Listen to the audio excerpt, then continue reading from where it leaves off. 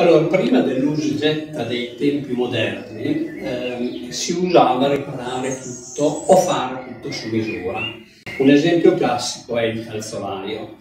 Il calzolaio partiva da forme che eh, simulavano il piede della persona, molto spesso venivano ritoccate per adattarle agli eventuali difetti dei piedi e utilizzando vari strumenti, qui ne vediamo alcuni, eh, la cucitrice per il calzolaio, questo è un modello abbastanza vecchio per cui eh, ci dà un'idea di come lavoravano allora.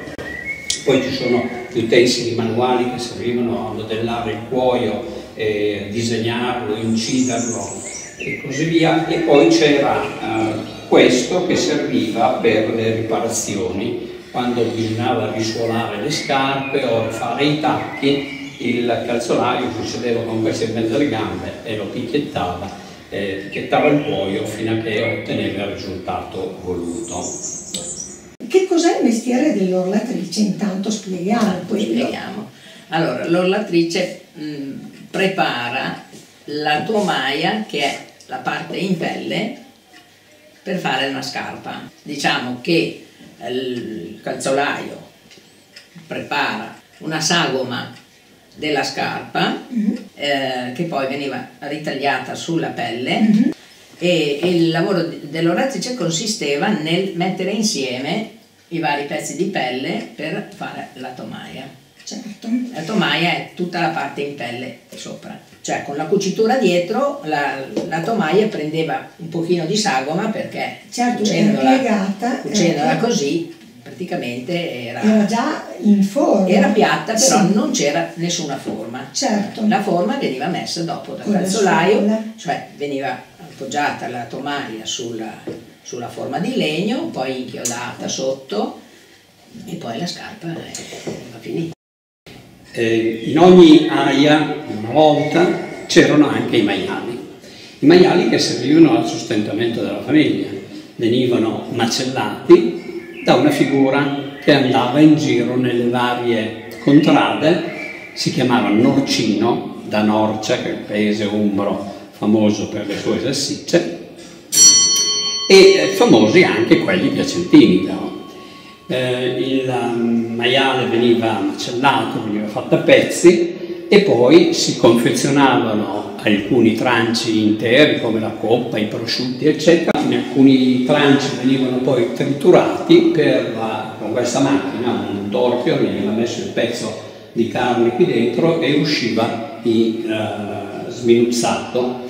Questo pezzo sminuzzato veniva introdotto in questo, chiamiamola specie di pressa, con una maniglia là dentro spingeva avanti il, la carne tritata e usciva da questo imbuto su cui era infilato il budello del, uh, dell'animale che serviva a fare il salame. Questo era per il salame perché lo vedete abbastanza grosso, questo era per le salsicce, più piccolo.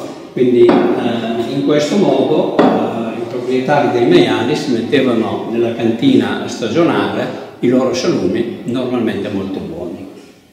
Qui abbiamo alcuni piccoli attrezzi, non abbiamo messo martelli o pinza, roba del genere, mettiamo cose un po' particolari. Eh, questo è un trapano su cui venivano fissate le punte per fare la panatura sia di legno che di ferro, veniva chiaramente azionato a mano girando questa maniglia. Per fare più forza si appoggiava alla spalla per eh, schiacciare con più eh, potenza la punta del materiale. Qui invece abbiamo varie chiavi, queste sono chiavi regolabili, vedete, questa è la cosiddetta chiave inglese, quindi veniva adattata come misura. Qui invece abbiamo due attrezzi che eh, erano utilizzati un po' in tutti i settori, anche i nocini li utilizzavano. Questa è una stadera per grossi carichi, pesavano addirittura il maiale intero questa è la stadera grossa, veniva chiaramente appesa da qualche parte.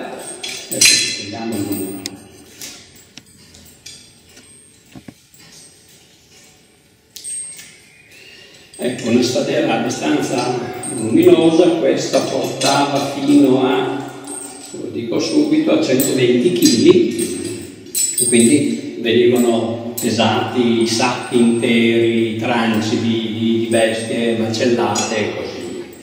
Come funzionava? Qui si attaccava il peso, questo veniva ancorato in una posizione fissa e questo serviva a determinare quando l'asta era in equilibrio, serviva a determinare il peso che era eh, agganciato a questa bilancia, a questa spadella.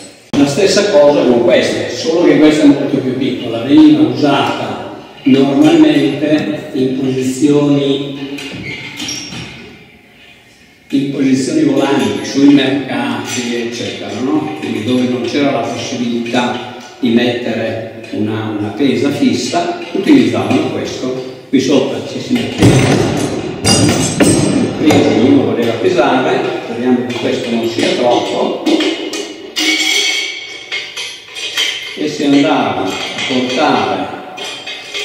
l'asta in equilibrio. Quando ci riesco.